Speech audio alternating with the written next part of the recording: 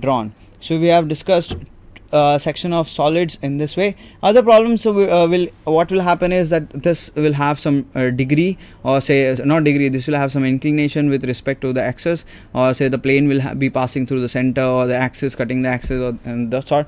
Just uh, everything will remain as same uh, will be uh, remain exactly similar to uh, how the projection of solids are drawn. The only thing is that in the final figure what we'll have will have it a pl- will have a plane which will be cutting uh, uh, the final figure into uh, different parts and you will have di- uh, different generated points which have to be pro- projected downwards. And from the, those points what we need is we need to cut off those uh, points and the above surface won't be visible to us or the front view won't be visible to, uh, wi- will be removed. And what will be visible will be a flat section that will be there.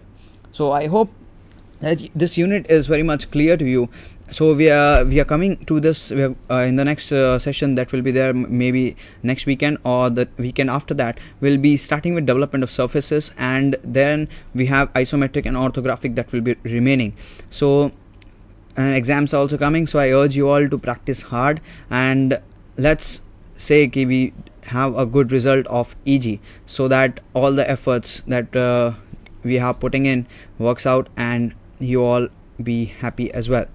So all the best. And next time we'll meet up with some other uh, the other topic will be that development of surfaces which will begin in the next session. Okay? Thank you and have a good evening